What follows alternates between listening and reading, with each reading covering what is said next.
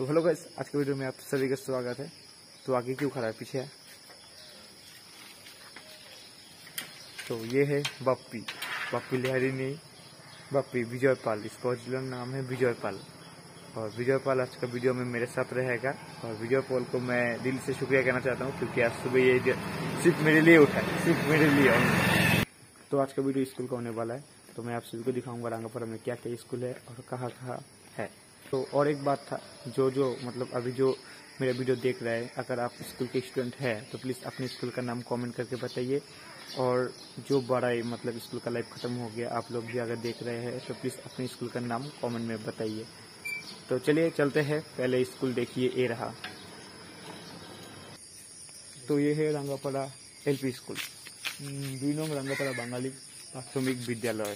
तो देखिए ये है एलपी स्कूल। तो देखिए ये स्कूल के पीछे और एक स्कूल है जो हाई स्कूल है। मतलब आपको यहाँ से आने से पहले ये स्कूल मिलेगा, उसके बाद हाई स्कूल और तो चलिए अभी हाई स्कूल में चलते तो इस तरफ़ से जाना पड़ेगा, ये रोड इस तरफ़ से जाना पड़ेगा, देखिए। तो चलिए चलते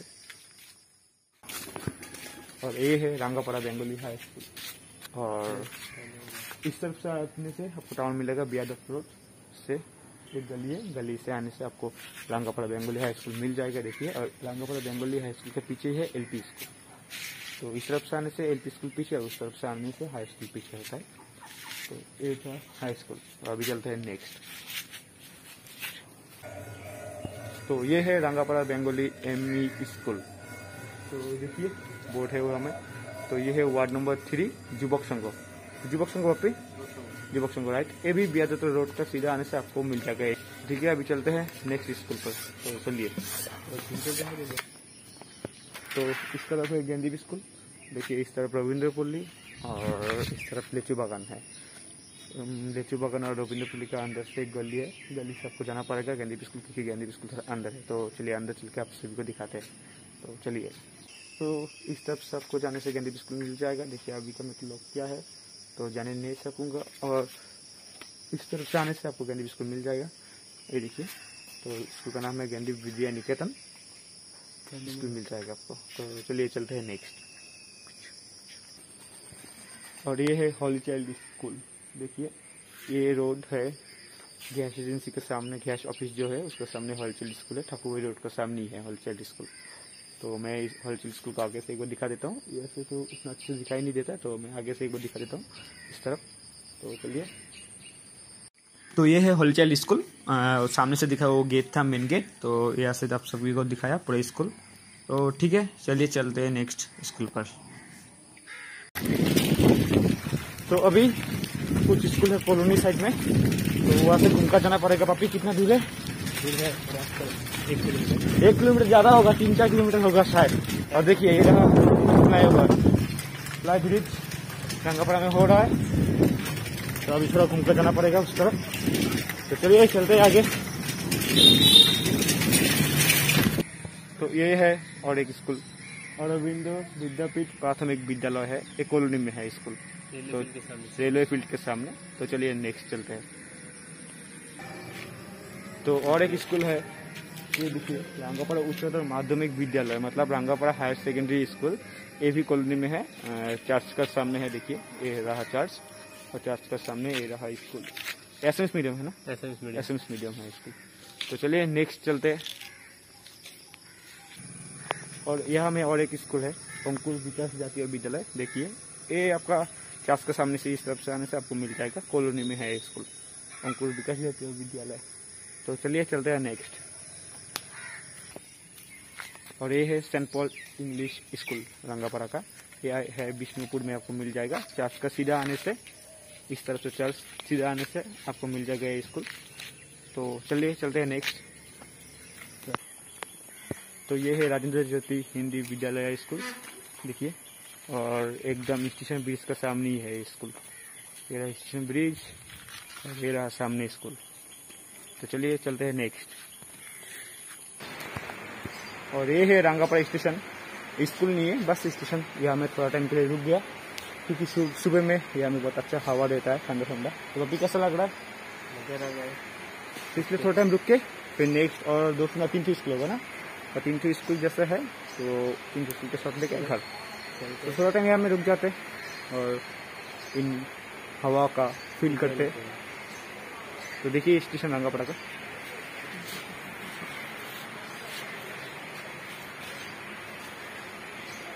पूरा स्टेशन। खाली खाली है अभी। ट्रेन नहीं आया शायद। तो ठीक है नेक्स्ट चलते